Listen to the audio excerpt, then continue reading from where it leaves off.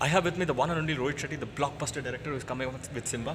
Uh, uh, Rohit, my first question: the best thing about Simmba, Uh, the whole film. the whole film. the best thing about Rohit Shetty directing Simmba. Uh, that let the audience say. Okay, nice.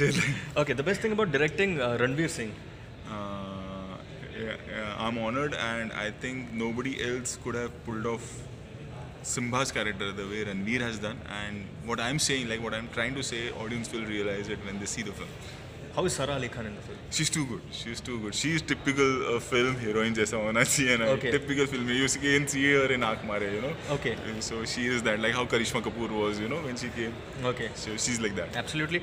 Uh, finally, one message for all the audience who are eagerly waiting for you and uh, Simmba to release on the December 8th, 28th of December. Sorry. 28th December, Simmba is releasing, and I am sure my audience, like who have loved my films, typical that CT and Taliwala audience, uh, they will love the film, and I'm sure, especially this time, uh, my woman audience, you know, my family audience will really love the film. Whenever once, whenever we see the first cut of the film or trial जब भी खत्म होती है, uh, there is a not a joke, but my uh, team says कि sir आपने एक action woman oriented film बनाई है okay. So 300 crores.